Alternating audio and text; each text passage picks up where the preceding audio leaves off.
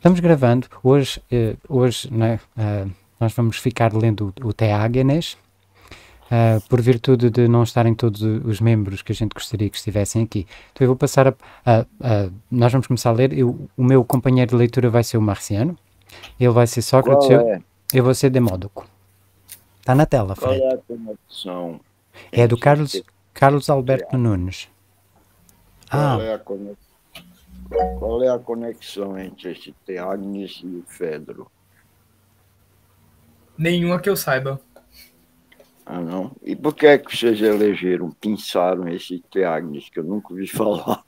Pois é, é just... eu, foi eu que propus, né, Fred? É justamente por ser um diálogo extremamente pouco conhecido, já que ele está junto dos textos que a gente não tem certeza se é de Platão ou não. Hum, sei. O subtítulo dele é sobre a sabedoria. E Ah. como esse é um tema que me agrada, aí eu, ah, A, mim- a mim também. E eu acho ótimo é, pensar é, é, material é, é, é pouco badalado, né? é, Para você preencher lacunas. eu gostava de fazer um comentário muito curtinho sobre a escrita. O Platão, todos os ângulos que eu procuro olhar o Platão, eu acho, como escritor, genial. Ah, Até, é, até, este detalhe. De haver umas obras, assim, tipo, um, há, assim, um, um rastro de outras obras que, gente- que nós atualmente pensamos assim: será que é de Platão? Muita gente diz não. Assim, pai, continua-se a trazer, faz tudo parte da tradição. Poxa, é incrível. Seria, É seria tipo uma boa né? tarefa para, para essa onda de inteligência artificial, né? Identificar a autoria. Aí, vamos a uma coisa que não havia pensado, Fred. Algo para conversarmos depois. Boa. Eu já cheguei a ler um texto do Brandwood sobre o uso de inteligência, arti- de inteligência artificial, não, mas de computação para decidir quais são os diálogos de Platão ou não. E aí fizeram Ah, um bom. conjunto de textos e aí colocavam lá os diálogos classi- classicamente considerados de Platão, mas colocaram o de outros autores que é, escreviam na Grécia, né? Mas também alguns diálogos socráticos, como o de Xenofonte. E houve Hum. muitos problemas. Porque muitas vezes alguns diálogos que, por exemplo, a gente sabia que não eram de Platão, eram colocados dentro desse grupo de diálogos platônicos. Então, por exemplo, o, a apologia de Xenofonte é com, pela leitura dos computadores seria considerada de Platão. Uhum. É, isso acontece, porque quando você capta o algoritmo, mesmo que não seja assim, é, tecnicamente defensável, mas às vezes por intuição a pessoa capta o algoritmo, e aí já faz uns 30 ou 40 anos, sei lá, que eu li que, que alguém tinha montado um, um programa em computador, nem se usava o termo algoritmo ainda, que reconhecia se, se uma, um- uma composição musical era, por exemplo, acho que era um caso específico, se era de Bach ou não era. E aí eles in- in- injetavam, assim, faziam uma, uma, ficha caracterizando a composição de, de Bach e uma, uma composição que, que, que foi feita para enganar o programa, e o programa viu, é, é, considerou que era de Bach. Quer dizer, ele foi enganado, de fato, sabe? É, é, você pode simular, se você captar, seja analiticamente ou seja intuitivamente, você pode captar o, o, o teu, assim, a, o colorido, a, os trejeitos da, da composição, né? E, assim como foi de música, pode ser de texto também. Né? Isso enseja questões interessantes. Isso enseja a É. questão da originalidade, a questão do gênio, né? Como se houvesse uma marca distintiva nas suas obras que diferenciariam elas de todas as outras obras. Mas enfim, são É. coisas para discutir. É, se- é semiótica, eu adoro semiótica. Dizer, é, é a, a semi, a, a- como é que se diz? A- o código além da linguagem, mais do que linguagem, né? Assim, toda a sua, a sua abrangência. É. Codificação da, da- do conteúdo. Mas e aí, Demódoco, o que é que você veio fazer?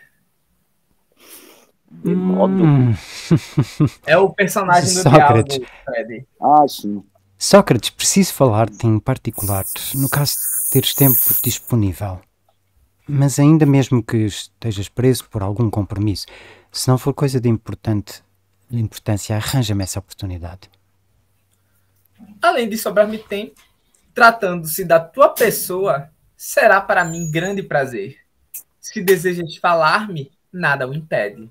Concordarias em nos abrigarmos ali, no pórtico de Zeus Libertador? Como quiseres. Pois então. Tudo o que nasce, Sócrates, parece ser da mesma natureza. O que brota da terra, os animais em geral e o homem em particular. No que diz respeito às plantas, para todos nós que trabalhamos na terra é muito fácil preparar o terreno para o plantio e até mesmo plantar. Mas depois que começa a viver o que se plantou, aí é que se tornam difíceis e penosos os inúmeros cuidados que a planta requer. Aliás, parece que a mesma coisa se dá com os homens. Da minha experiência, concluo para a dos outros. Por exemplo, para semear ou gerar este filho, pouco importa a expressão que empregamos, foi a coisa mais fácil deste mundo. Mas, no que entendo com a sua educação, que há de mais difícil e, para mim, motivo de interminável perplexidade. Sem tocar noutros pontos, o desejo que acaba de manifestar me deixa apavorado. Não é que seja indigno, mas é perigoso ao extremo. O caso, Sócrates, é que este pequeno, conforme o declarou, deseja estudar para ser sábio.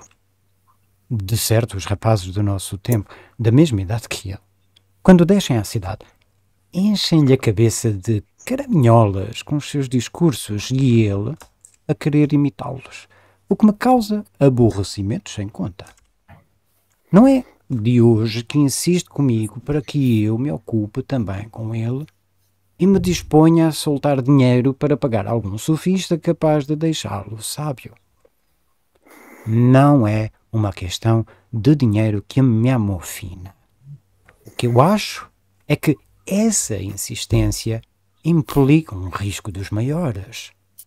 Até agora, procurei acalmá-lo com boas palavras, porém já esgotei todos os recursos, havendo chegado à conclusão de que é preferível fazer-lhe a vontade, para que ele não venha a corromper-se em más companhias sem o meu conhecimento.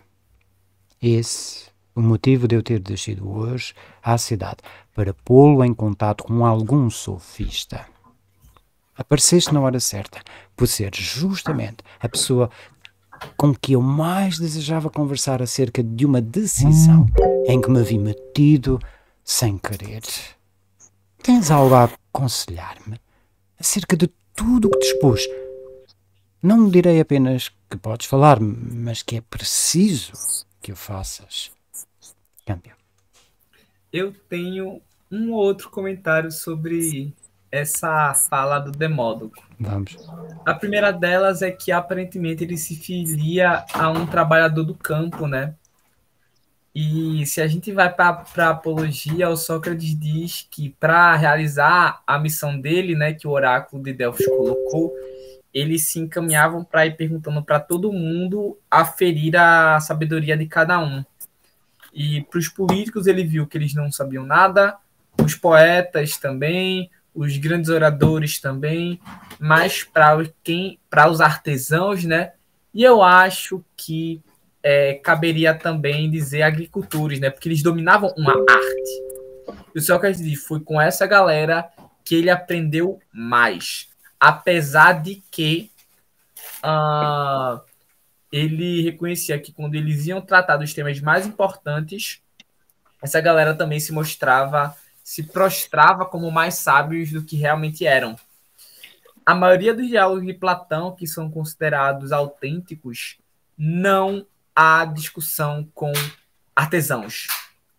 Menon era de família rica, é, Protágoras, Gorgias, todos sofistas, Cálicles também, Paulo também. Fedro era um cara de família rica, afinado com, a, com a aristocracia ateniense, né? Demódoco é um agricultor. Então, talvez a gente devesse buscar mais um pouquinho da vida dele, mas inicialmente me pareceu que ele é um cara um pouquinho diferente, né? Do que os interlocutores habituais de Sócrates. E ele aparenta se apresentar para Sócrates como é, um cara que está pedindo conselhos, né? Isso é muita coisa do Sócrates de Xenofonte.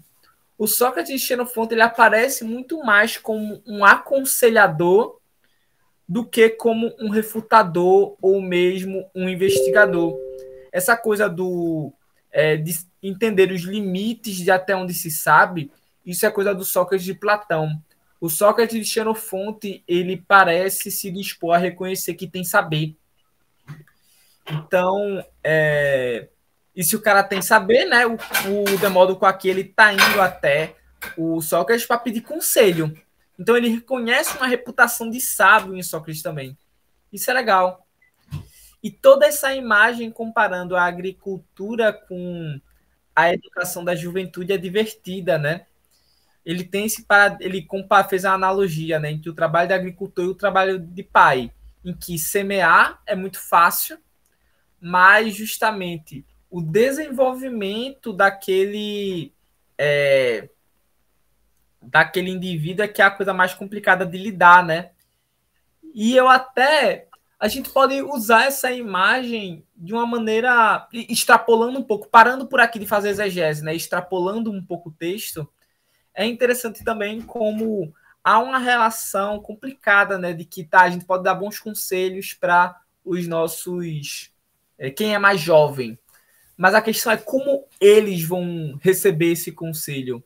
Será que, tal qual com a planta, ele pode começar a crescer de uma maneira exagerada, fazendo folhas é, que não são das mais belas, e aí a gente precisa ficar picotando? Essa relação entre uma certa. Porque o Sócrates, ele. É, o Platão ele não parece ser um empirista, né? ele não acha que os seres humanos são uma tábula rasa.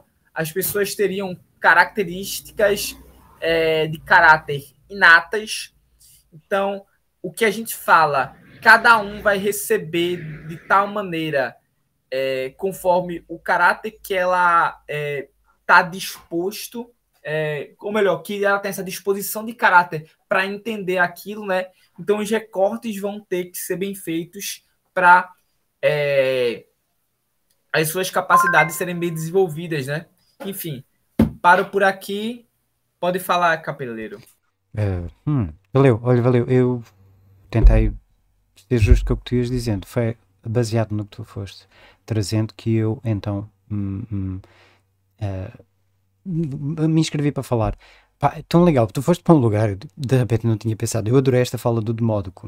Uh, não quero fazer comentários sobre a autoria porque eu de facto não tenho saber.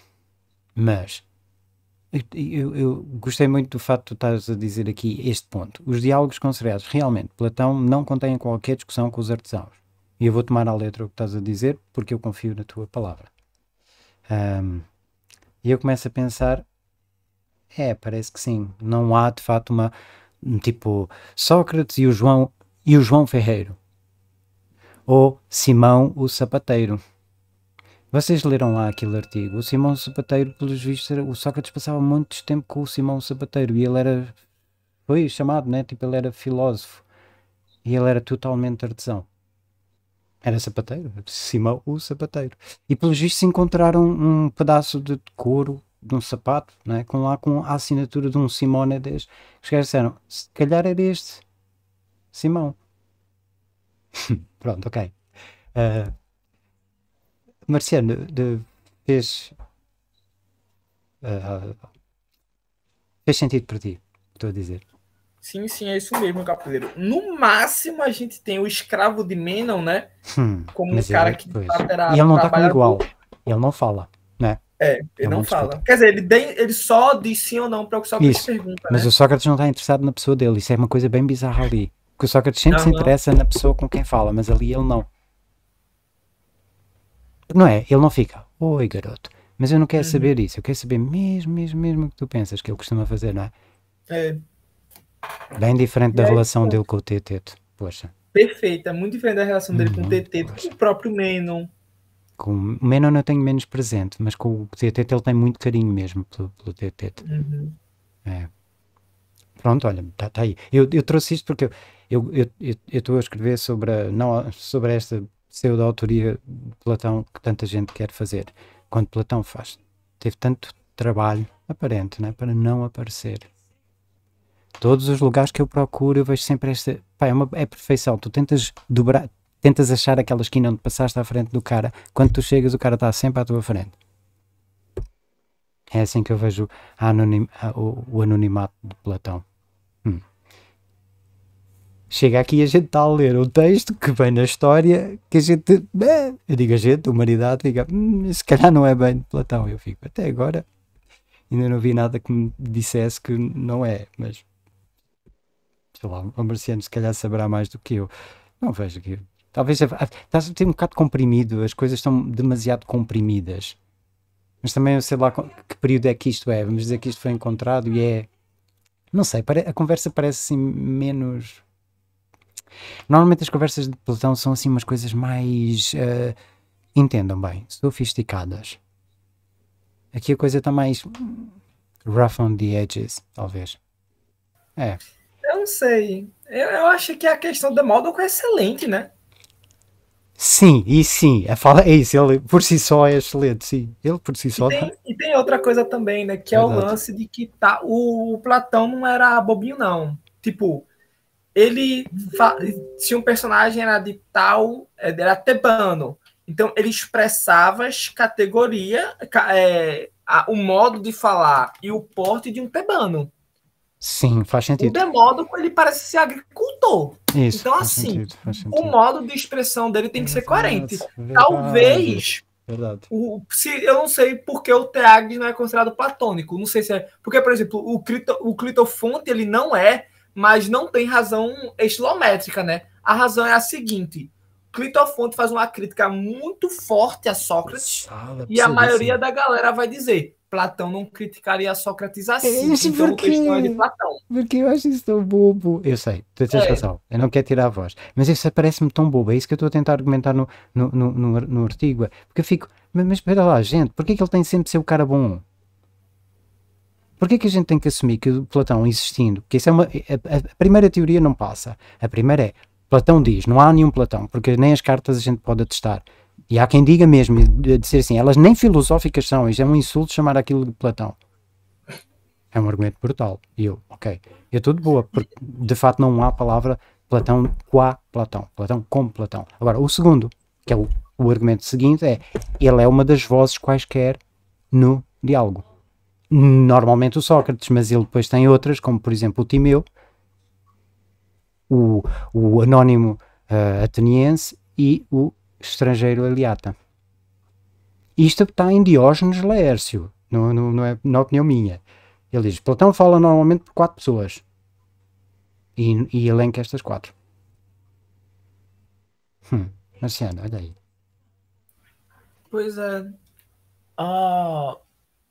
Porquê então, que ele não havia de ser? Estás a ver? Tu disseste, porquê que ele não havia de ser Clitofonte? Porquê que ele, porquê que a gente, porquê que ele não há de ser Cállicles? Não pode ser, porque o Platão só pode ser bom. O Platão só pode estar associado aos bonzinhos. Parece coisa quase de livrinho de, de sabes, gibi de super-herói. é, Platão, no fundo, é o autor, né?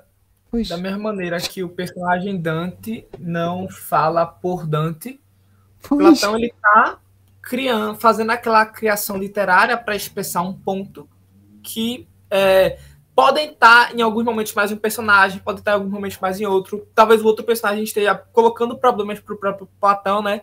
E talvez o, que o, o ponto do Platão esteja justamente no âmbito é, implícito, né? Aquilo tudo. Pelo menos eu Pois, eu... gosto de pensar dessa maneira. Idem. Porque a minha é, será sempre, é o diálogo, é o diálogo. É o personagem, o personagem. E cada um está dizendo o que quer dizer. E eu vou atrás deles, porque o que eu quero ver é o filme. Eu não quero ficar a, olha, fundo, O argumento... Platão é o autor, viu? Em última instância, ele Isso. é. Cabelo, só para constar. Tu já chegou a ler um texto do T. Irving sobre a carta 7? Não, manda-me. Eu não. Epá, eu cobri todo o chão, não. Mas manda-me, porque agora preciso. Porque depois também. Eu não quero estar a, simplesmente a tirá-la para fora sem, sem pegá-la. Eu já ouvi, tipo. eh, Sabes aquela Julianas? Ela também é, também é famosa. uma Sim, sim. Conhece, ela é de respeito, não é? Ela também diz que não é de Platão. Ela diz, isso é o pessoal a projetar o que quer encontrar. Ela não é de, de Platão e ela está muito de boa com isso. Então eu estou a pegar na dela, a- são três ca- caras de peso que eu estou a pegar, mas em todo caso, eu vou ler. O que eu queria era ir por aí, eh, tipo, tipo esta necessidade de atribuir uma voz a Platão e que tem de ser uma certa voz. Eu estou a tentar trazer para esta discussão, porque eu fico, qual é o problema? De modo que, como tu disseste, tem de falar como um agricultor. A coisa está tão quebrada atualmente que o pessoal atira fora o drama como se o drama não contasse para nada. E, a única, e o drama é a única evidência que a gente tem de fato. Porque Platão tomou essa decisão estilística. É a grande decisão estilística de Platão. É sempre assim. Não é? E o pessoal passa por cima da evidência mais clara para, depois começar a dizer: Não, eu recuso a coisa que mais vejo para postular a coisa que eu acho mais bonita. Isto, isto, isto é- pode ser levado seriamente cientificamente. Marciano, fez.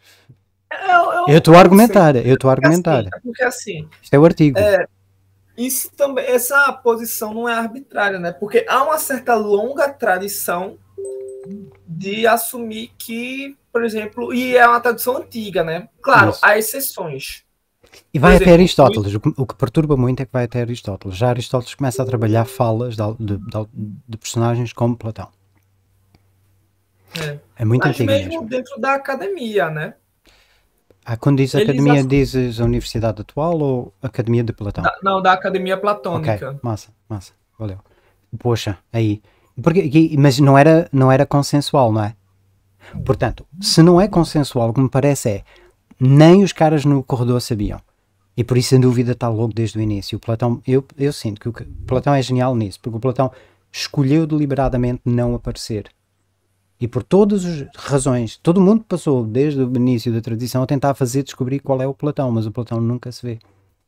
Sempre invisível. Porque do mesmo jeito que podes argumentar na direção, numa direção, tu facilmente consegues podes argumentar na, na contrária. Verdade. É, mas agora, É um argumento. porque- Repara, eu estou a fazer um argumento literário, mas é um argumento. sim, sim. É um- É, Hum. Mas é, tem algumas questões aí que eu até gostaria que pudesse, fossem mais expostas pelos é, autores, né? E eu Que, queria que também. vão se dedicar a essa questão. Por exemplo, também. quais eram as percepções que havia-se de produção de texto mesmo na Isso. por exemplo, os tragediógrafos, eles muitas vezes escreviam peças, sei lá, Medeia.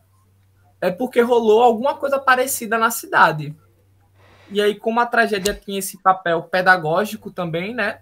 De retratar as coisas do cotidiano e tentar trazer uma mensagem ali. Sim, Então, se Platão queria ser um tragediógrafo, e sim. é, ah, tal qual os tragediógrafos, ele tem um papel, ele tem um objetivo educativo, né? E eu acho Pois, que é boa. seguro pela maneira que o tema é repetido nos diálogos de Platão. Que havia essa parece- intenção, não é? Que ele tinha essa É. intenção. Ele seria, É. podemos assumir. No mínimo razoável, né? Qual, qual seria a inferência é, abdutivamente mais forte? Parece que seria essa. Também parece. Eu, eu vou, vou ser sincero, não é tipo agora vou ganhar a todo custo, não. Mas parece que sim. É muito boa a, a hipótese, muito boa. Continua a ser especulativa, sem evidência. Em última análise, o cara tem que ter. Essa é a marca no chão. A gente nunca vai poder fazer um Platão aristotélico para começar agora a botá-lo a falar como, uma- como a gente fala na academia. Não. Faz sentido? Pelo menos isso. Salvaguardar isso. Ah, faz, mas eu acho que ela pode se tornar problemática no seguinte sentido, Capeleiro. Hum. É, eu acho que a gente lê esse textos de filosofia também para filosofar, né? Eu, go- eu A gosto gente disso. lê textos de Platão com o objetivo de filosofar, de re- responder problemas filosóficos. Hum. Então, é, na minha opinião, uma hipótese é, interessante para é, ler Platão, para identificar quais teses Platão está defendendo, é justamente teses que fazem a filosofia, os problemas filosóficos serem respondidos, ou ele está abrindo melhor problemas, né? Isso hum, que eu acho mais hum, interessante. Hum, também. E, claro, tem uma questão aí também de coerência interna, né? Que não precisa ser absoluta, mas obviamente. Sim, claro. É.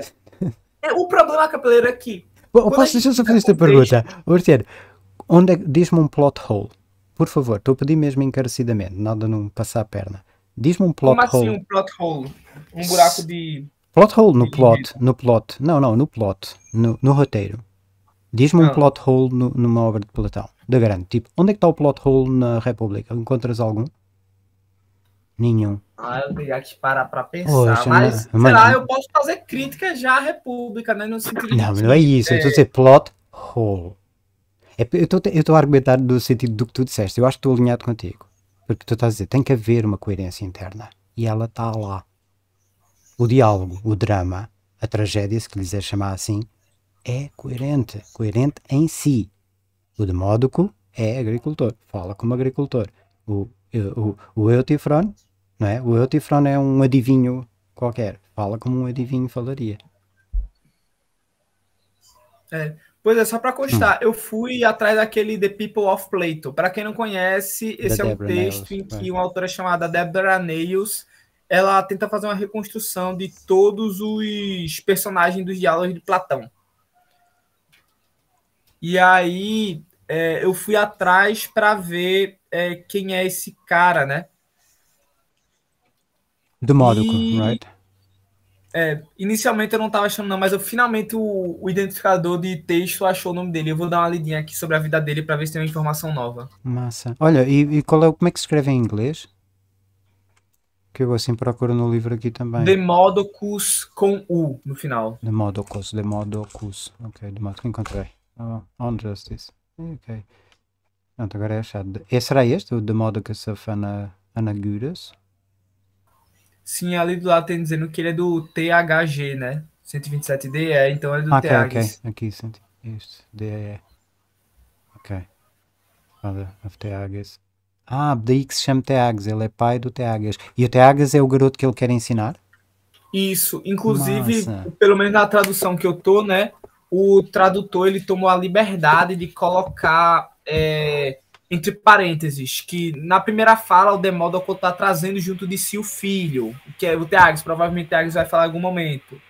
E tem uma hora, uma hora que o tradutor toma a liberdade de colocar, é, quando ele diz, pois o plantio ou engendramento, como se queira chamar, deste meu filho aqui, aí o tradutor coloca aponta para o Teags, então ele está presente no texto. Então, deixa, esse, esse é nessa edição que tens aí, esse é uma indicação do tradutor. Isso, é coisa do massa, tradutor, não massa, do texto. Massa, massa, massa. Isso é bem, só para mas, ter bem, bem presente. Mas isso é uma coisa assim, razoável. Tipo, se ele sabe que o Teags vai estar tá no texto e o, os demonstrativos no grego né, tem um poder de tipo, olha, isso aí, como se eu estivesse apontando. Então faz sentido ele colocar essas coisas. Ok. Queres que. Queres que eu, eu, eu vou ler aqui para o que está aqui, pode ser? Assim a gente fica a saber quem pode. era. Então, olha aí, vida e carreira. Demo, a data de nascimento do Demódoco, mais velho que Sócrates no Teágoras 127d, encaixa bem com o Demódocos que aparece no Tucídides 475.1 como um general e um coletor de tributos, servindo com Aristides em 425.4. Um catálogo não identificado uma inscrição não identificada num catálogo encontrado em Eleusis e datado do fim do século V uh, eh, pode também ser atribuído ao Demódoco. Não diz nada sobre ser agricultor, era general. É, não diz nada. É Mas aqui, obviamente, o texto parece dizer que, olha, ele trabalha com a terra. Pois, porque ele tem que estar a saber do que está a falar, também concordo contigo. Ele fala bem, ele, ele fala de saber, Deixa cá só ver como é que ele diz. Se eu encontro. Um, é quando ele dá o exemplo do plantio, está aqui. Uh, o que brota da terra, os animais em geral e o homem em particular, no que diz respeito às plantas, para todos nós que trabalhamos, é isto, está aqui. Para todos é. nós que trabalhamos na terra. Massa, poxa. Eu estou só aqui a marcar o texto para depois eu não, não vá perder. É, ele está se colocando dentro do conjunto de homens que trabalha com a terra. Exatamente. Isso mesmo. Muito bem notado. E importante, ok. Olha aí, estás a ver aqui, então naquele texto da Deborah Nails, talvez, talvez se for, né, havia ali alguma coisa que já se possa né, corrigir ou pelo menos criticar. Hum, veja lá. É, a questão é que ela faz. Ela se esforça para encontrar o máximo de dimensão possível de alguma galera, né? Mas o problema é que. Mas essa é forçada. Coisa. Esta é forçada, porque ela diz pode. Né? Ver. É possível. É, é possível. possível. Do que a gente tem de dado, pois. é o único que bateria. De, dentro do timeline do cara. O cara vive num é. tanto tempo e, é, e então e ela está baseada a ver numa obra, espera, de ficção, no Teagnes. Se for a mesma, o Teagnes parece ter este personagem, este personagem histórico que vai aparecer em Tucides, então eles devem ser a mesma pessoa. É uma inferência. É, é inferência. Hum, mas estás a ver como ela é um catálogo e uma inscrição não identificada num catálogo encontrado em Eleus. Catálogo de quê? Eu imagino, será dos mistérios? Os mistérios será, tinham um rastro escrito, não faz sentido. Por isso é que eram mistérios, portanto não se sabe nada. E datado do final Mais ou menos, mais ou menos, mais ou menos.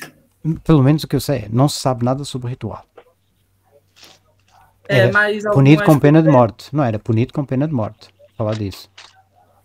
Mas, mas, tem alguns registros escritos, eles escreviam nas tumbas. Tem, tem, tem algum material, sim, nesse sentido. Tu tens algum livro que junte tudo isso? Sabes o que eu acho que falta mesmo a mim? É uma enciclopédia das evidências concretas. Tá, Deixa-me só dizer o título. Enciclopédia das evidências concretas da antiguidade. Só isto. Eu quero as evidências concretas. Está nesta tumba. E eu vejo lá a fotografia da tumba. Está neste papiro. Fotografia do papiro. O que eu sinto é, fala do que fala, todo mundo diz que disse. Há uma coisa qualquer, e eu acho sim, deve haver. Mas eu não vejo. Onde é que está a evidência? Nega Pior uma... que eu de fato não conheço um livro assim, Capeleiro, mas tem. Quer dizer, eu acabei de lembrar que tem um livro de um cara chamado Miceliade, que tem um livro sobre origem do mito, né? Eu acho que ele tem um conjunto de textos sobre a história das ciências religiosas. Hum. E nesse texto ele traz alguns capítulos sobre os mistérios de Eleusis. Eu nunca li esse livro porque é caro e eu não comprei ainda.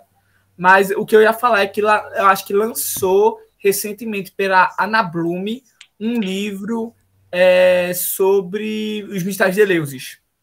Olha aí, essa, essa é boa, boa, boa informação. Partilha depois a referência. Uh, eu botei na tela o Mito e Realidade, se quiseres o livro em formato digital, está aí. Mas no caso não é esse livro, é... Ah, ok. Então... é o então. Mito e Realidade, esse aí é um texto que ele vai justamente falar de mito, né? Mas tem um dele que é a História das Crenças Religiosas, eu acho. Ok, esse eu não tenho. Mas já estou aqui a procurar e não tenho. Tenho muitos, assim, o Sagrado e o Profano, mas não tenho Mito e Realidade, Imagens e Símbolos, The Forge and the Crucible, The Origins of Alchemy, também não é esse, mas pronto, tenho livros, mas não é esse. Vou depois procurar. Bota na referência e depois eu vou tentar achar. Mas valeu. Eu vou dar uma procurada também para jogar valeu. aqui. Então, eu volto aí ao, ao Teagnes com aquela, a gente vai ouvir o Sócrates, eu estou de boa, eu estou de boa no lugar, eu quero ver a coerência interna do diálogo e no diálogo, como o Marciano identificou perfeitamente, o Teagnes está a falar como agricultor, um homem que trabalha a terra, conhece o trabalho da terra. Capeleiro, só para constar, eu encontrei o título do livro, eu vou deixar aí no chat Massa. e vou, vou ler Sócrates. Massa. Vem daí, Demódoco, dizerem que o conselho é coisa sagrada. Se há realmente conselho que mereça tal qualificativo, terá de ser o que vens solicitar-me. Sem dúvida. Não há nada mais divino para o homem deliberar do que o problema da educação, quer seja de si mesmo, quer dos seus familiares. Inicialmente, tanto eu como tu precisamos esclarecer o que nós podemos discutir. Não nos, desculpem, para o que nos podemos discutir não seja o caso de eu encará-lo por um determinado prisma e tu por outro muito diferente. E depois de uma conversa demorada, chegarmos à conclusão de que fizemos um papel ridículo, tanto eu que te aconselho, como tu que me consultas, por pensarmos o tempo todo em coisas diferentes. Hum, a meu parecer, Sócrates, falaste com muito acerto. É assim mesmo que devemos proceder. Sim, poderei ter falado bem, porém, em termos. Alguma coisinha preciso modificar. Ocorreu-me que este moço poderá não desejar exatamente o que imaginamos que ele deseja. Porém, coisa muito diferente. Ficando nós, assim, numa situação assaz estranha, por deliberarmos sobre assunto que nem de longe lhe diz respeito. A meu ver, o mais certo será começarmos por ele, para perguntar-lhe o que ele realmente pretende. Sem dúvida. O melhor mesmo é fazer-me conforme disseste. Começa então por dizer-me qual é o belo nome deste jovem. Como o denominaremos? Chama-se Teágoras, Sócrates. Belo nome, Demódoco. Escolheste para teu filho. Inculca veneração. Diz-me, Teagnes, pelo que declaraste, deseja tornar-te sábio e insiste com teu pai para que ele te ponha em contato com alguém capaz de fazer de ti o que desejas ser? Isso mesmo. Eu, desculpem, eu quero interromper, mas acho justificado. Aparece agora a falar o Teagnes, eu não estava à espera. É. Eu não estava à espera. E o Teagnes não foi anunciado. O garoto não. Eu acho que assim, tipo, o contexto dramático não está bem descrito, né? Tu tens que ver o. Tu estarias vendo a cena, tu vês a cena toda. Tu já estás vendo o garoto na cena, não é? No texto é, isso fica invisível. Deixa só pelo menos buscar isso. É que num drama, tu não, no drama mesmo, o drama não é o texto escrito, o drama é a representação dele, não é? É já a sua performance. E na performance tu nunca terias dúvidas. O Tiago estava lá desde o início, tu já estás vendo. Chega no texto, ele está invisível o tempo todo, até que de repente aparece e puf! Fez sentido? E isto é estranho. Eu acho, eu acho que fez, mas é, eu acho que é normal nos textos diretos de Platão isso acontecer, quando não é uma narração. Quando, Numa narração, tipo, a República, o Banquete, sim, é, esse, geralmente sim. o Protágoras tem essas marcas de apresentação. Quando o texto de Platão é direto, aí não tem. Mas tu tens outra assim, exemplo, é tudo boa. Qualquer um. Exemplo que tu te lembres que também aconteça algo semelhante como aqui, porque aqui é muito abrupto. O Menon. Quando Qual? O... Nem o garoto. O garoto, o escravo, há um momento em que tudo é descrito, a cena toda. Alguém tem que chamar, o, garoto está noutro lugar e a gente percebe espacialmente como a cena se está a passar. Mas e quando aquele, um dos acusadores de Sócrates chega, Capeleiro? Tu não acha muito repentino, não? Tens que. Bem, eu não sei. Tens me lembrar. Eu não estou lembrado direito. Talvez tenhas razão. Eu não sei dizer. Talvez para ti tenhas sentido isso e seja de fato. Eu não me lembro. É, eu, eu, eu, digo isso porque eu, de fato, eu sempre tive essas impressões no texto de Platão, desde ah, okay. quando eu comecei a lê-lo. Okay. Mas isso é mais presente nos diálogos diretos. Okay. Quando ele tá na, quando tem um personagem narrando, aí é mais de boa. Mas quando é texto direto mesmo, aí às vezes aparecem umas coisas meio, oxente, esse cara tava aí. Isso, ok sabia. É o Ânito. O Ânito que aparece no Menon. Ele aparece muito repentinamente. Tipo, hum. Tipo, todo o diálogo de, do Ânito se passa hum. dentro da casa dele. Hum. Mas é do nada que só quer dizer, ó, oh, vamos chamar aqui Ânito, que tá. Que ele é um demo, que é um cara muito sábio, né, Ânito? Aí ele aparece putaço com Sócrates. Hum, ok, teria de verificar, mas olha, eu queria só apontar, hein? talvez este aproximamento do Teagnes pudesse ser um elemento que faz com que se que leve os especialistas a dizer hum, já não é de Platão, se calhar. É de, de, de, autoria duvidosa. Hum, sei. Mas pronto, olha, legal. Eu, queres comentar alguma coisa? Eu, eh, agora vai começar aqui é, um, um, diálogo direto com, com o garoto de Agnes, não é? Pois é, só que ele já começou com a safadeza dele, né? Jogando cantada pro menino. Que safadeza! Oh, por que safadeza? Belo nome, Demodo. Com, com a veneração. Ah, que cabra safado. Não, mas imagina que é mesmo. Vamos só imaginar. Eu, eu gosto de pensar sempre Sócrates, claro, aqui a autoria é duvidosa, mas para mim o Sócrates Platão é sempre bem literal. Tipo, quase, entendam, hum, como, como popularmente se entende autista. O cara leva a sério o que cada pessoa diz. Claro que não é total, porque o Sócrates simpatiza com, com as pessoas na, da, da, sua audiência e a gente vê estes momentos, ele, ele, a relação dele com o Teodoro Marciano, não é linda? Uhum, é. é. a provocação toda. Aquilo, há ali um, um rolê que a gente sente e drama, dramaticamente é bem legal. Então aqui também há belo nome de Módicos. Este para o teu filho já. A gente vê, poxa, o nome Teagnes tem importância. Inculca a veneração. Então agora diz-me, vai começar a falar com o garoto. Então diz-me, Teagnes. Então, e faz a pergunta direta ao garoto: queres ser isso? Olha, eu, vou, eu tenho uma proposta. Paulo, tá bem-vindo. Podes ler o Teagnes, como tens uma voz bem, bem jovem. E... Sabia que ia ser ele. É? Vamos ver, ele se calhar não pode. Ó oh, oh, Paulo, estás podendo ler? Dou-lhe uma. Dou-lhe duas. Pobre do Paulo, se tiver. Não fiques com ansiedade. Dou-lhe três. Pronto, olha, não. Então fico eu a ler. Ó oh, oh, Filipe, queres ler tu? O. O Teagnes. Piada mesmo, pode ser. É um garoto, portanto ele nunca vai estar falando muito, ele vai estar mais. Ok? Yeah. Pronto, então.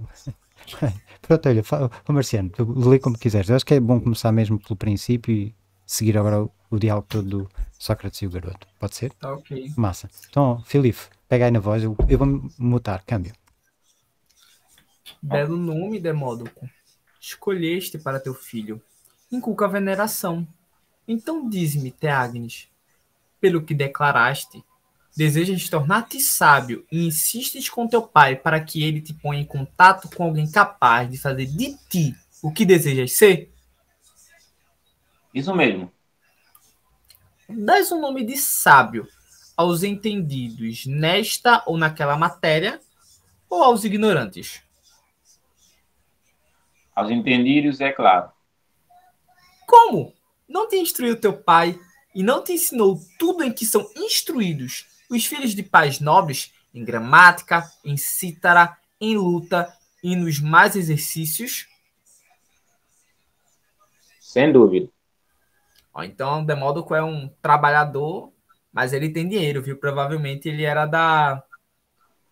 Como é? Que Platão também era, né? Apesar do Platão ser muito metido com política por causa da família dele, o Platão, no fundo, ele tinha muito dinheiro porque era. Equestre, é, tinha né? muita oliva, né? Não eram os equestres. Eu estou a confundir com os, com os latinos, mas eram aqueles que tinham propriedade rural, né? Isso. E a, hum, okay. o, onde a família de Platão mais se destacava é porque ela tinha muita oliveira. Hum. Que azeite era uma coisa muito importante na época para os gregos, né? Para comida, para limpeza. Massa, sim. É, pois. Era até para, como, como para fazer beleza, não é? Eles untavam o corpo para ficarem todos brilhantes, não é? especiarias, né?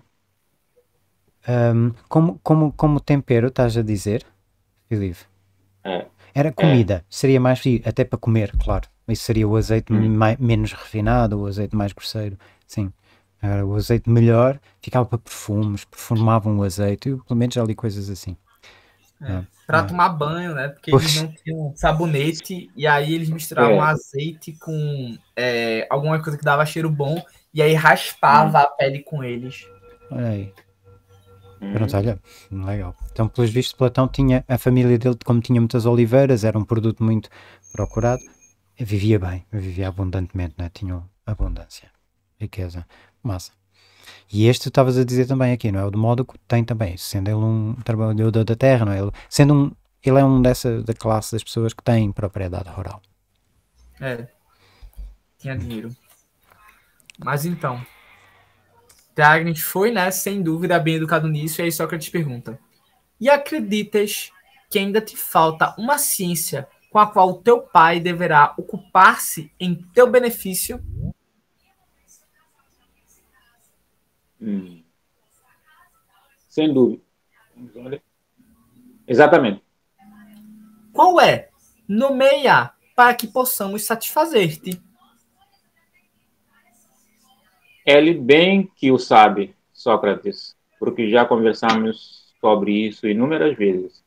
De caso pensado, é que fala dessa maneira, como se ignorasse o que é que eu pretendo. É por isso que ele se me, se me opõe de todo jeito, sem nunca decidir-se a confiar-me ninguém. Mas tudo que lhe disseste até hoje foi como se falasses a sós com ele, sem ninguém como testemunha. Agora, toma-me como testemunha e na minha presença declara qual seja esse conhecimento, porque tanto afanas. Comecemos. Desejas adquirir o conhecimento com que os homens dirigem as naves? E eu, por acaso, te perguntasse: Teagnes, qual é o conhecimento de que careces e a respeito do qual te zangas com teu pai, por não saberes proporcionar-te a companhia dos homens que te deixariam sábio? Que me responderia? Qual seria esse conhecimento? Não é o do piloto?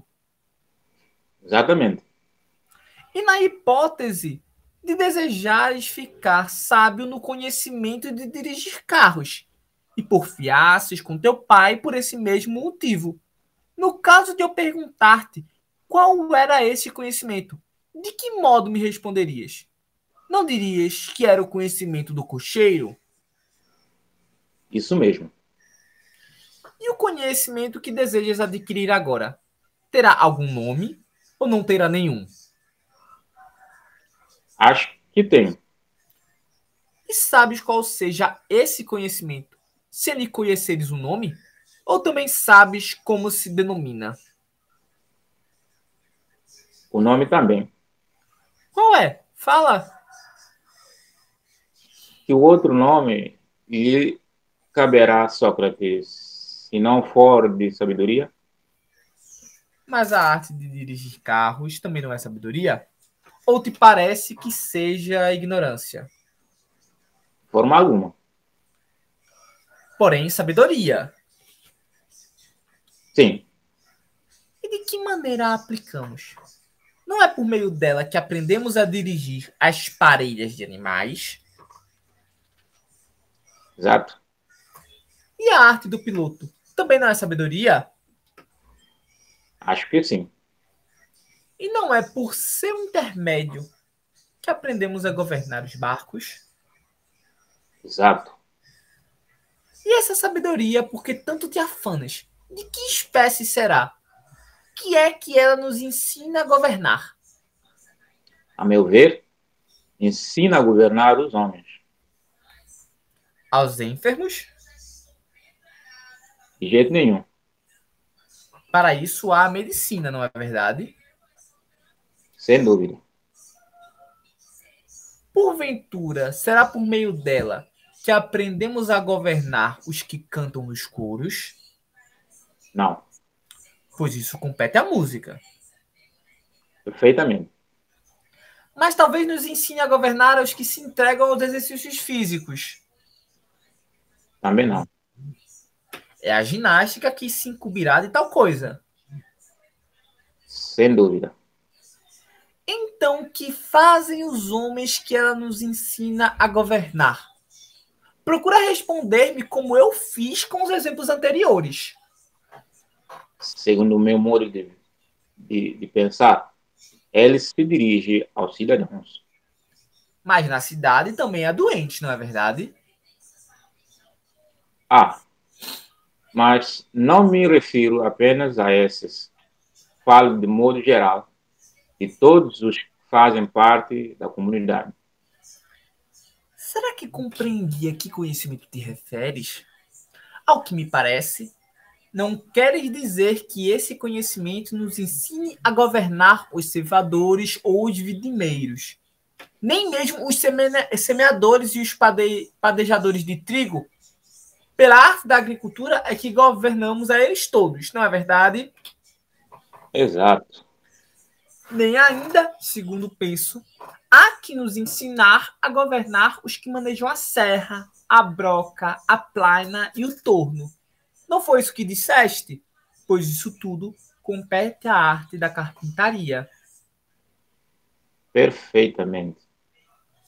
Porém, de certo, pensavas na arte que abrange toda essa gente: lavradores, carpinteiros, todos os artesãos, assim como os simples particulares, homens e mulheres. talvez te referisses a esse conhecimento.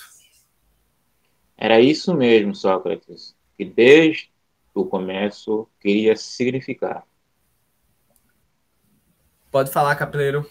Ah, eu pedi a palavra para ti. É para tu comentar. para comentares, eu pensei, tem um bom ponto. Porque agora terminou um, um, não é, terminou um daqueles momentos, eh, um momento argumentativo importante. Tá? É. Pronto, então agora Eu chegamos a achei isso essa. muito divertido, né? É, É. tá naquele método geral. Muito pá, pá. tem muitos textos de Sócrates. Apesar de Sócrates, ele tá parecendo, talvez, se fingindo mais de ignorante do que o, no, no- o costumeiro. Pelo menos eu senti isso. É. Hum, Esse é, talvez, É. esse seja um true diálogo socrático, né? Que pois. às vezes a galera diz, ah, não, mas Sócrates faz umas perguntas muito idiota. E geralmente eu não acho. Aqui ele parece estar exagerando na ignorância dele, né? Como assim? Eu não- Talvez porque eu tenho um. Não, peraí, eu quero saber mesmo. Porquê que sentes isso? Onde é que tu. Cita-me aí, eu estou de boa, a qualquer lugar. Porque ele Deus. pergunta as coisas mais óbvias do mundo. Peraí, peraí, peraí, mais óbvias para quem? Já fizeste essa. A arte de dirigir Pera, pera, pera. não é sabedoria, essa questão mesmo. Mas espera, olha aí essa. Tenta, te- tenta imaginar no teu, no teu universo de personagens possíveis, pessoas que tu conheces ou ficções, como é que seria um diálogo normal com alguém que tu quisesses ter algo parecido com, com, com o que se discute aqui? O que é o saber? Eu acho que a maioria das pessoas vai começar a dizer saber é X. Saber é um saber qualquer. E as pessoas falam do saber, mas será que a pessoa sabe o que é que ela de fato entende como saber? Saber é X, faz a experiência, pergunta a alguém. Saber é saber mudar um pneu. E tu és acometido assim às vezes com perguntas do tipo: ah, ah, Você está tentando dizer o quê?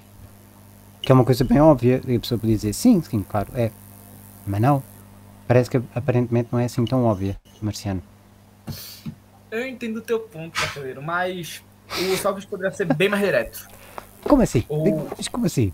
Peraí, o garoto. Essa parte aí eu ainda acho que faz sentido, mas o Hum. número de vezes que ele citou Ah, Hum. coisas aqui competem coisas. Tipo, vai mais pra baixo aí. hum, vai, vai portanto, eu paras quando quiseres. Vai indo. Medicina. Pronto, esses exemplos mesmo. Ah, a arte dos enfermos, a medicina. Ok. Ou, e aí depois ele diz, ah, a arte dos. É, que pessoas querem se exercitar. Mas espera, tal, espera aí, qual é o, o problema aqui? É toda, ele diz toda a comunidade, pelo menos o Tiago-nos até aqui tem estado bem. O Tiago diz que é o saber, o saber né, que, que beneficia toda a gente, toda a gente da comunidade. Não são só os enfermos, também são as outras pessoas. São as outras pessoas, são todos os, bem, todas as atividades que essa cidade inclui. Não É uma coisa que é fácil esquecer, é que aquela cidade depende muito de, dos, artes, dos artesãos, não é? Não se manda vida China a espada. Ok, mas o Sócrates Faz sentido. dá mais exemplos do que necessário. Uma, duas vezes já vai, mas ele faz uma terceira. Ah, tá. E além disso, ele eh, logicamente dá, não precisava de todos esses passos para ficar explícito. Se ele já eu- tivesse eu tô- eu passado estou para contigo. Mas para quem? já era. Mas para quem? Para ti, que tu és bom. Bom, quer dizer, tu, tu já és mestre. Mas aqui o Teágnes não é bem isso. O Teágnes ainda está na busca. Ele quer a sabedoria. Pai, paga-me aí um. Eu quero que me pagues em um sofista. Hum. O pai pode pagar. E o pai já disse: tá bom, eu pago. Olha só, que eu queria te perguntar. E aí? Estou a fazer bem?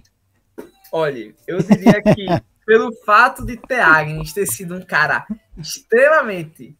é, Quem foi? Eu não, sei. assim. eu não sei quem foi Teagnes. Ele pareceria insolente se ele respondesse só quer dizendo. É óbvio que seria tal, né? Como o Calicles, por exemplo, faz lá no Borges. Ou então Paulo, né? Que é um cara que desempenha lá a retórica dele com não toda a excelência que poderia, né?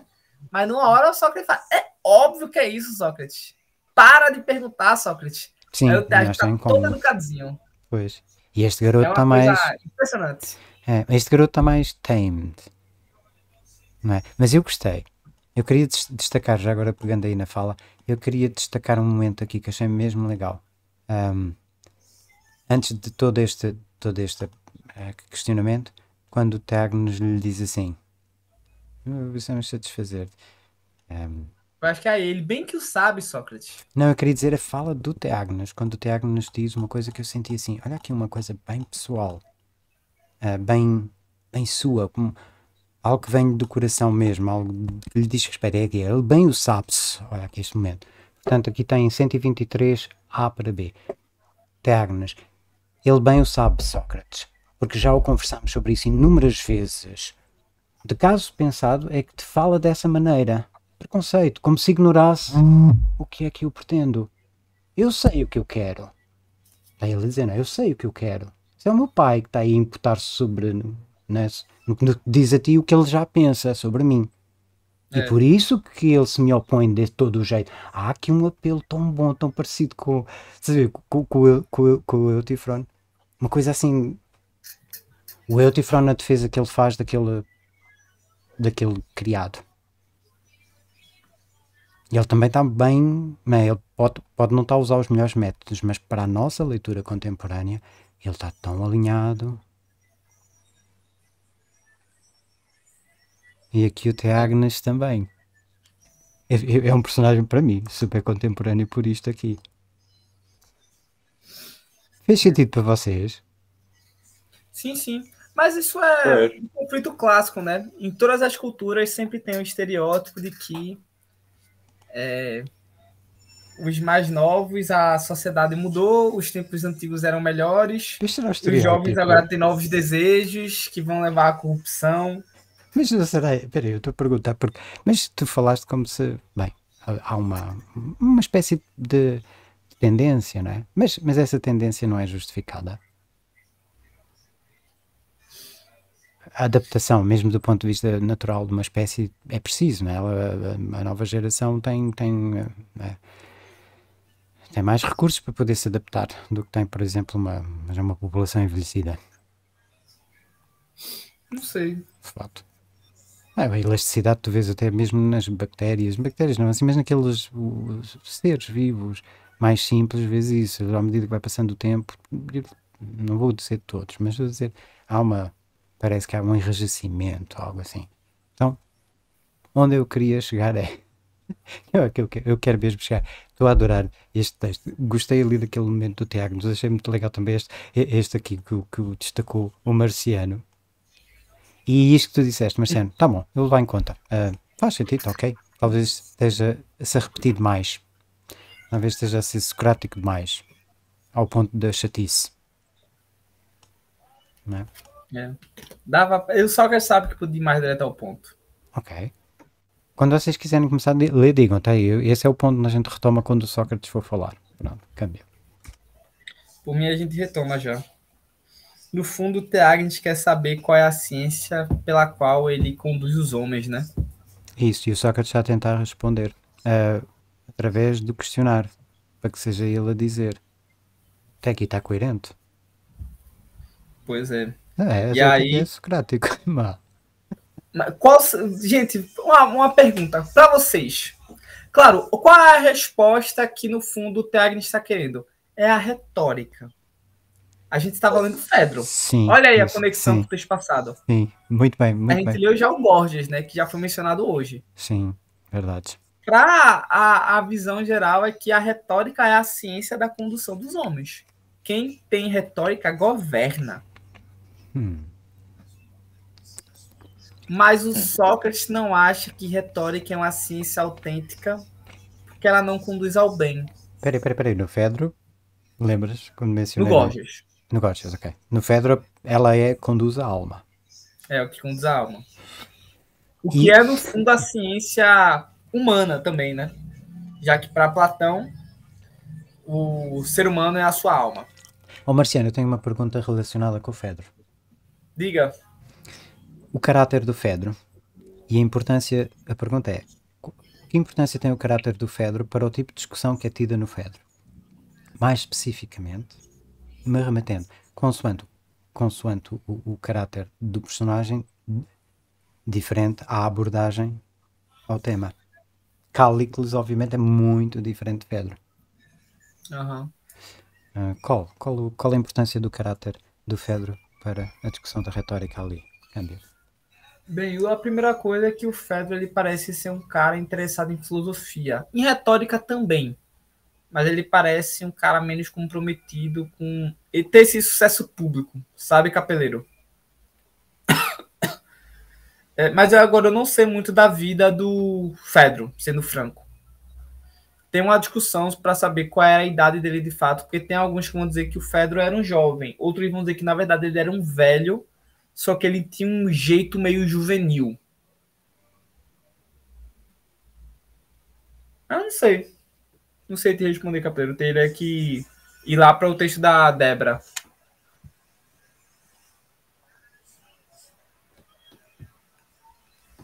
Mas pelo menos isso eu acho seguro dizer.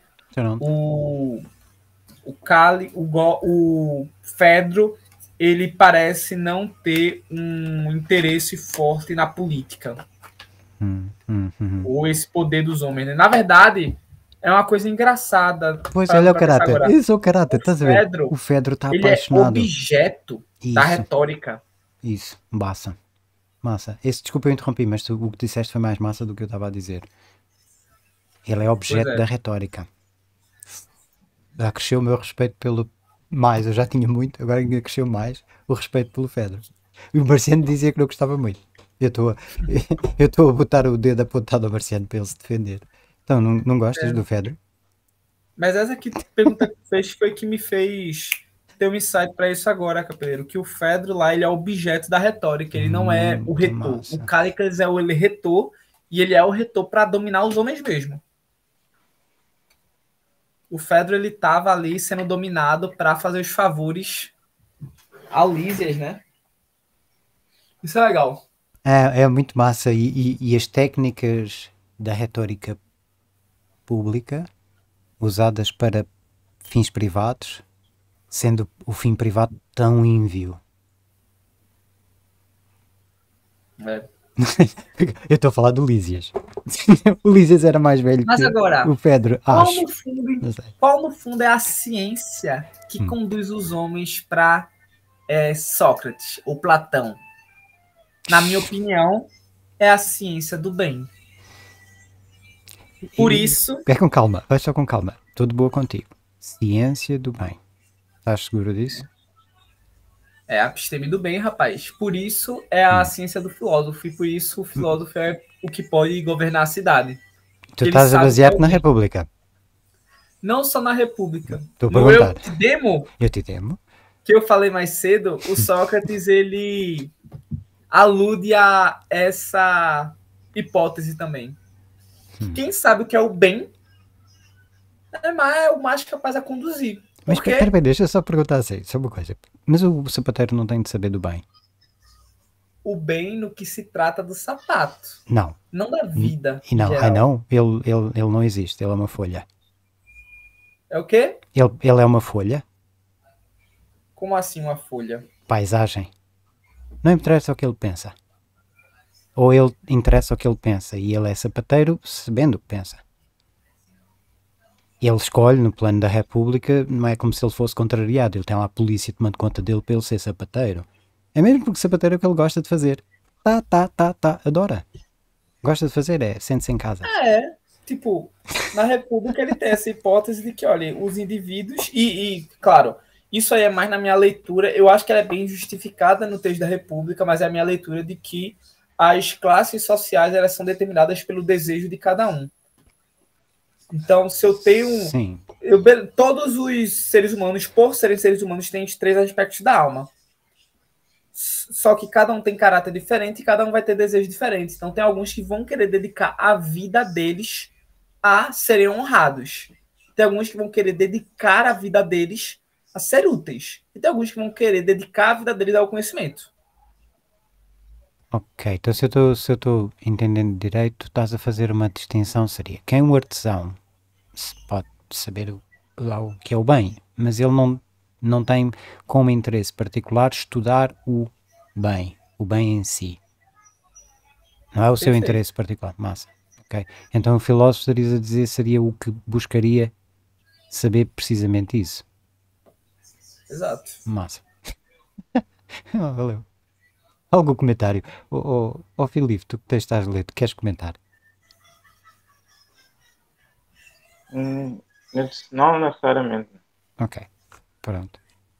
Tá bom. Então, vocês querem continuar a ler?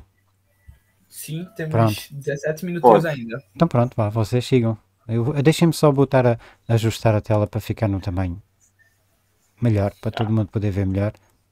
Ok, pronto, eu não quero perder nenhum, nenhum do, do texto. Pronto, oh, Marciano, estás aí, já tem a passagem de página. Câmbio. Ok. Poderás dizer-me se Egisto, o matador de Agamenon, governava Argos, toda essa gente a que te referiste, artesão e gente do povo, homens e mulheres em geral, ou seriam diferentes?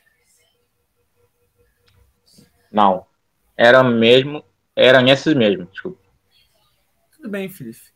E de Peleu, que me dizes, filho de Ea? Em Fítia, não era sobre gente dessa mesma espécie que ele reinava? reinava?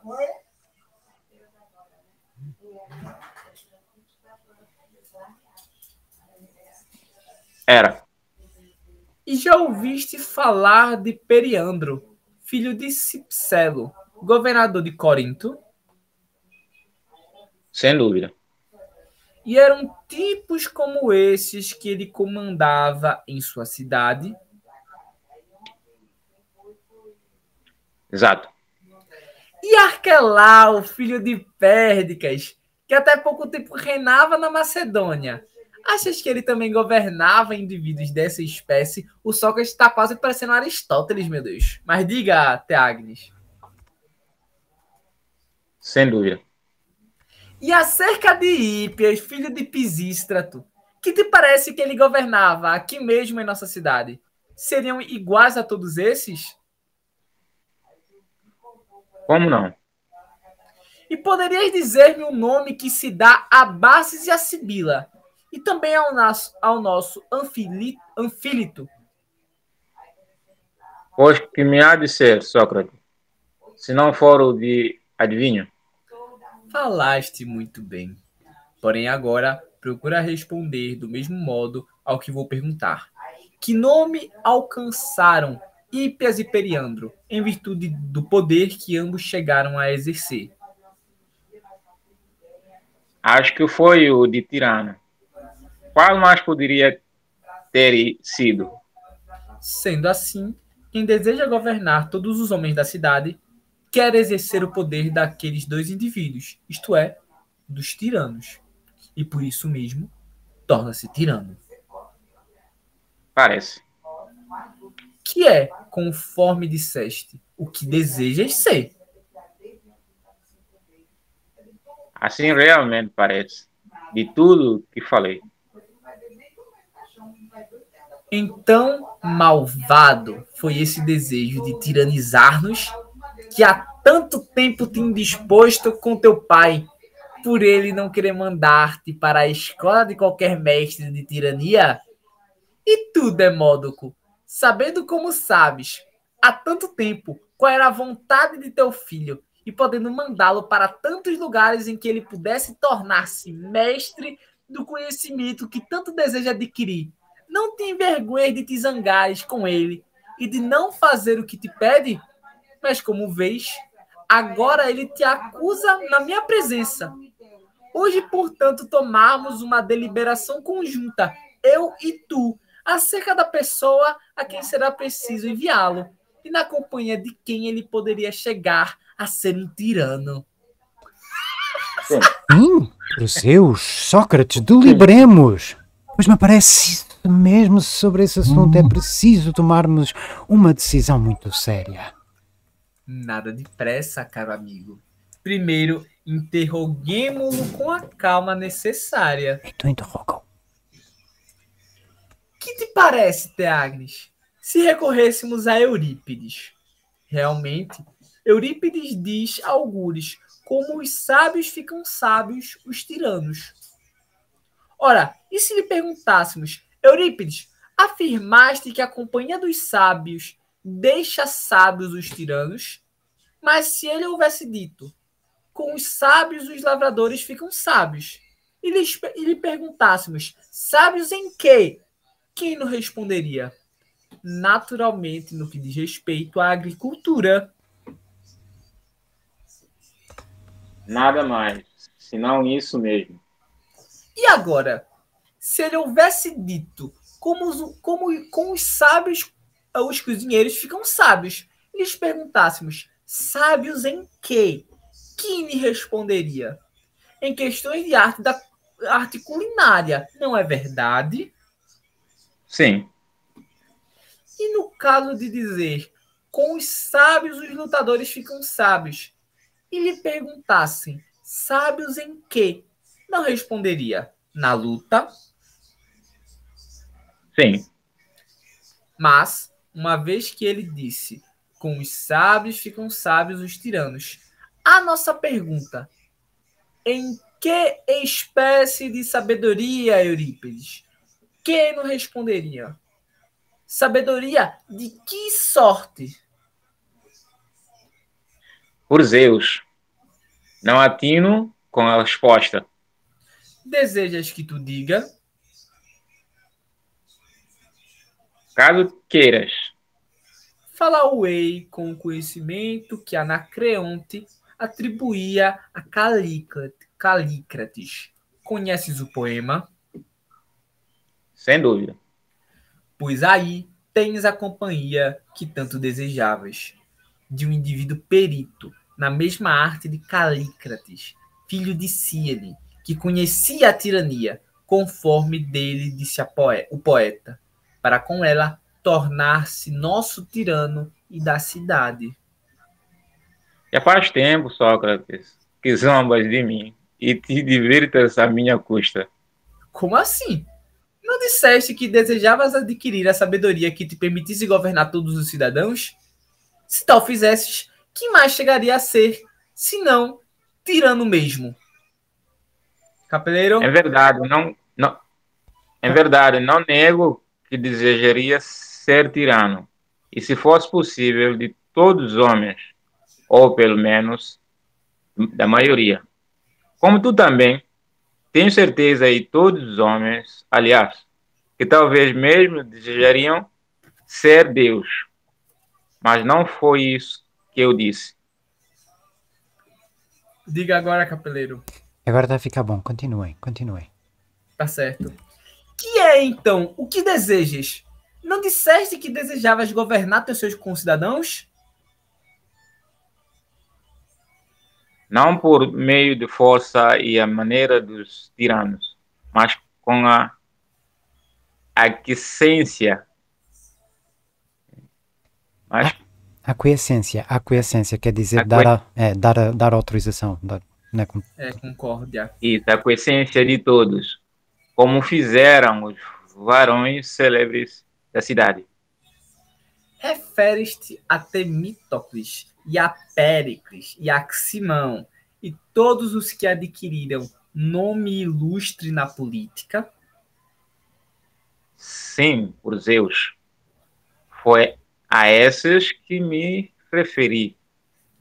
Então, se desejasses tornar-te perito em equitação, de quem te aproximarias na convicção de que poderias chegar a ser um ótimo cavaleiro? Irias procurar alguém que não soubesse montar com perfeição? De forma alguma, por Zeus.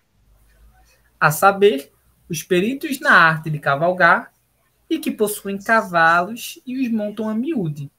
Não somente os próprios, como também os de pessoas estranhas.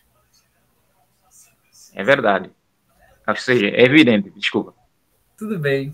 E então, no caso de desejares tornar-te hábil na arte de lançar o dardo, não te dirigirias aos bons atiradores, certo de que conseguirias o teu intento para tornar-te grande mestre nessa matéria? Isto é, aos que possuem grande quantidade de dardos e deles se servem com frequência, tanto dos próprios como de estranhos? Acho que sim. Dize-me uma coisa. Uma vez que desejas ficar sábio em política, achas que alcançarás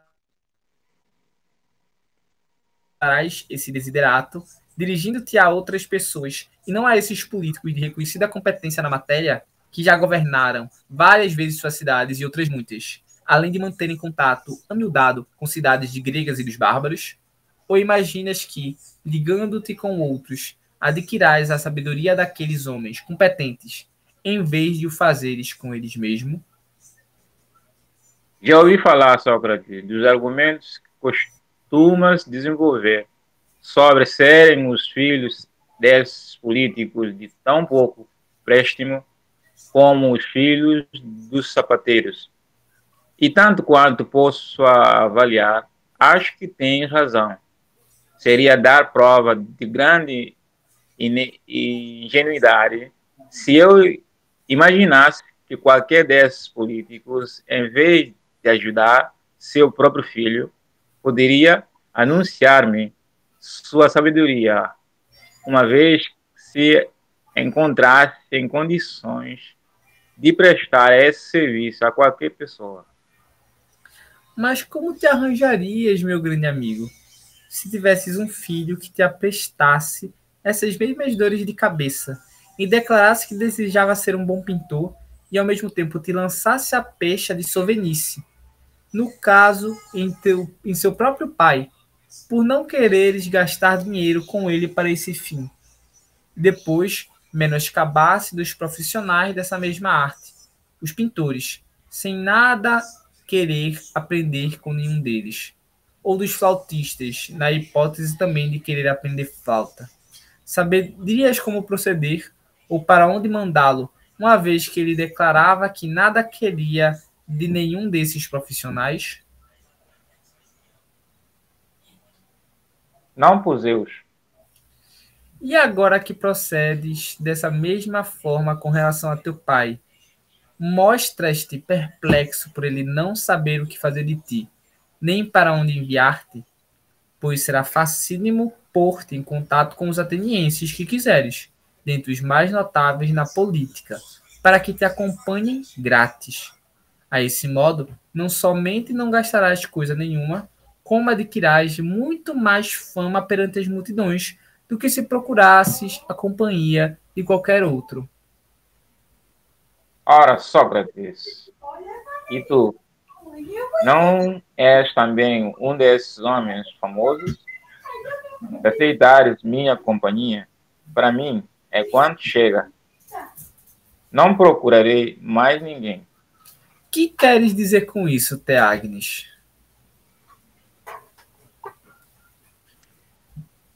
Que queres dizer com isso? Não, calma. Ah, isso é isso. O que, que é isso? É Demódoco. Sou eu. Pronto, eu vou entrar. Confusão. Marciano, podemos parar aqui? Vamos agora, para fazer, um, fazer uma pausa. Eu queria destacar, vou aproveitar, não é? me inscrevi, é isso que eu vou dizer. Vocês já viram aqui como o Tiago nos parece o Cálculos? Ele parece, né? Ele é. quer ser tirano, ele admitiu isso. Ele e, é ele, um e ele está vivo. Eu quero dizer, ele está taco a taco com Sócrates. O Sócrates não está a conseguir levar a, a, a, aquela vantagem que costuma levar. Capeleira não diria isso, mas eu diria que o Callicles ele tem muito mais uma certa clareza que apesar dele não expor diretamente estar tá acompanhando o raciocínio socrático, ele tem muita clareza que não concorda com Sócrates. Sim, e o garoto também não, não concorda. O garoto está a dizer: Olha, Sócrates, e tu, não és também um desses homens famosos? Se aceitares minha companhia, para mim é quanto chega. Não procurarei mais ninguém. Total devoção a Sócrates. Ele está aqui. Eu vou. E ele já disse, na, naquela passagem que eu destaquei antes aqui, uh, veja o que, é que ele diz. Não por meio, ele não quer ser tirano, nada disso. Não por meio da força e à maneira dos tiranos, mas com a aquiescência de todos, como fizeram os varões célebres da cidade. Ele quer ser como Péricles. Ele quer ser mesmo um bom político. Um político de referência. E um que vai governar para toda a cidade, toda a gente. Toda a gente, ele, ele de fato vai ser o cara. Até aqui ele está a ser coerente. É. o pai diz que é uma coisa, mas ele não está com o pai. E, e, agora vai entrar o pai a falar, e o pai, de fato, o pai é muito menos arguto do que o garoto.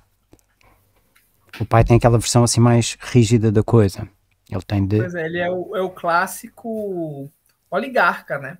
Olha aí. Que ele, os filhos estão interessados nessa cultura nova vinda dos sofistas enquanto o pai ele é mais conservador.